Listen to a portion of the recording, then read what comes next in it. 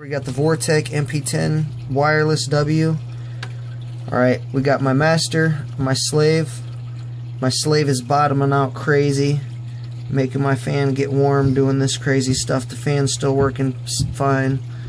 Alright, we unplug my master here. You watch the slave to the left pick up like normal, no problem. So I don't think it's operation in that. Maybe operation in the Bluetooth connectivity but as soon as I plug back in the master again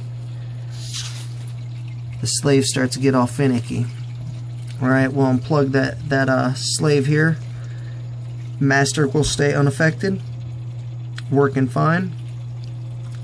Can plug it plug this uh, slave back in let him boost back up and he's still back at a an oddball pace here Alrighty.